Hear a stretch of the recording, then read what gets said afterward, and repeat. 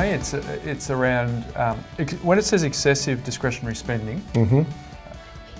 Oh, can you repeat? Oh, can I repeat the question?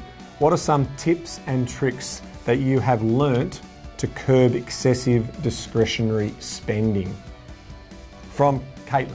Sorry, there we go. We're just being We're told. getting some So prompting. we're getting some prompting here. That's all right. Wouldn't it be, you know, the, the best, the best level of financial independence and financial freedom, in my mind, is that the asset base never gets touched, Yep. and you live off that asset base.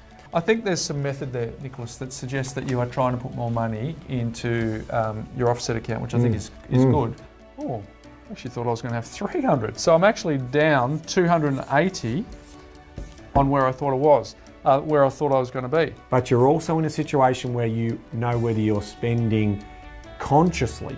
So if you decide to overspend, that's a that is a conscious overspend, and that's why rules-based systems and standard budgets don't work. We want you to set up the equivalent of a direct debit for your credit card. So what it means is we want you to have auto swept the balance. So on the 25 on the 25th of July, the bank will automatically take money out of our primary account and settle the outstanding balance. Job done. So Um, that's about making your money work harder for you, and that's that's the that's the mountain we're climbing at the moment in terms of get the foundations right.